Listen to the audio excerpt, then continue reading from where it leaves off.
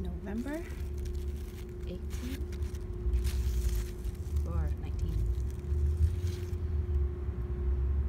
2018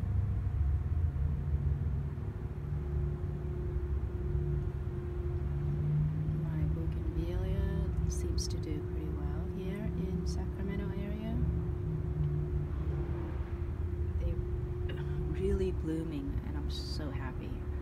I bought it like was like ten dollars from Lowe's. And I I'm just happy that it's doing so well. I really take care of them I really love bougainvillea remind me when I was a childhood? I grew up with it so it's hard to live without the color the plant itself. So beautiful November 18, 2018, Bougainvillea. And above is my passion fruit. Still fruiting. I grow them Fusan. Uh, it's one year old now. Um, look how well they're doing. Also, my Bougainvillea is also one year old. It when it was very small. I didn't protect or anything like that. I just kind of grew it like I just planted fusan.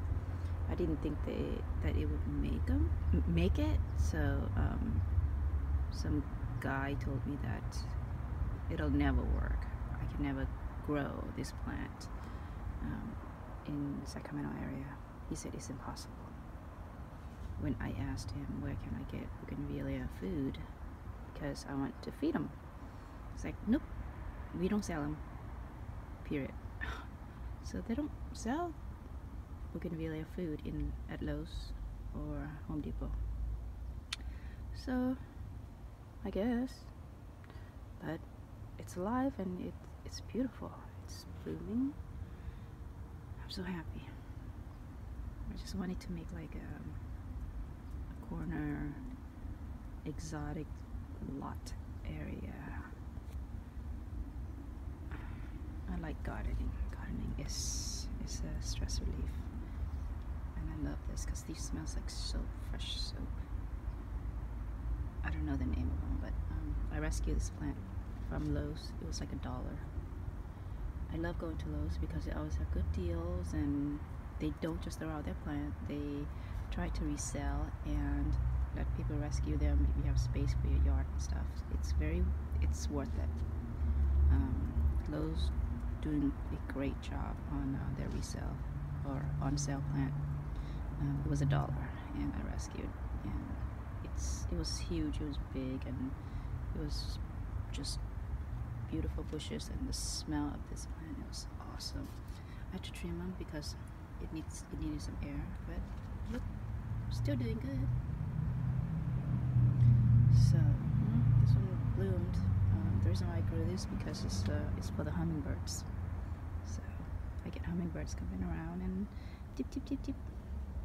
So this corner lot is basically for the hummingbirds. And they love it. And it's hummingbird food corner.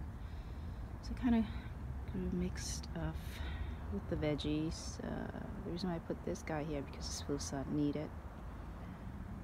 Um, zucchini made it. I got it on sale at like a dollar ten from Orchard. I think they'll make it, but since it's fusan, it's still surviving. And gave me one fruit, of course. And my melon didn't survive this year on this area. So, so I got some work to do And my passion fruit still going. Um, and my dragon fruit.